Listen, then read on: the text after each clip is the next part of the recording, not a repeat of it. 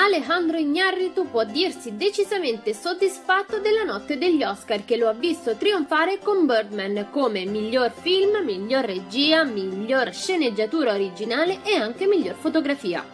Il regista è stato chiamato sul palco del Dolby Theatre da Champagne che, dobbiamo dirlo, gli ha rubato la scena. L'attore infatti prima di annunciare il vincitore ha esclamato davanti alla platea e al mondo intero chi ha dato la green card a questo figlio di Pooh? La battuta sul riferimento al permesso di soggiorno agli immigrati ha inizialmente gelato il pubblico, che poi si è lasciato andare ad una fragorosa risata e a scroscianti applausi, insieme al diretto interessato che è di origini messicane. Ignarritu poi ha risposto: Probabilmente l'anno prossimo il governo inasprirà le regole sull'immigrazione per la cerimonia degli Oscar, in particolar modo per i messicani, sospetto. Il regista ha comunque chiarito che sin dalla collaborazione sul set di 21 grammi c'è una grande amicizia con Sean Penn.